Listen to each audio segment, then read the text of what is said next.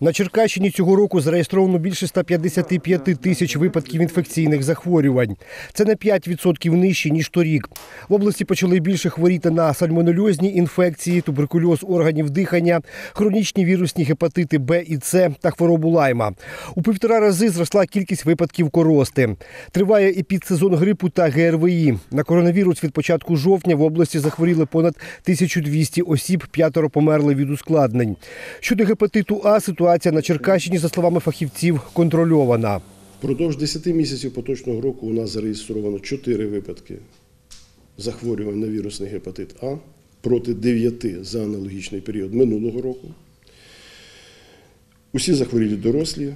Ці захворювання реєструвалися у лютому-червні в Городищенській, Уманській, Шполянській територіальних громадах, і усі ці випадки епідеміологічно між собою пов'язані не були.